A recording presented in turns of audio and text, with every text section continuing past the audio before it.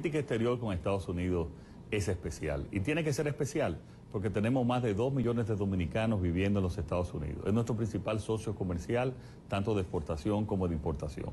La mayoría de los turistas vienen a la República Dominicana desde Estados Unidos. Entonces nosotros estamos muy claros que eh, tenemos y vamos a continuar teniendo una relación muy especial con los Estados Unidos, tanto en los aspectos económicos como también en lo que tiene que ver con la defensa de la democracia en la región.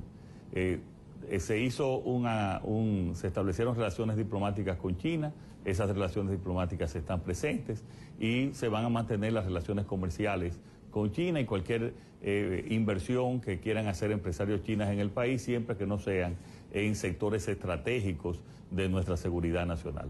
Pero nosotros estamos muy claros que en este caso tenemos que tener nuestra relación muy especial con los Estados Unidos por las razones que mencioné anteriormente.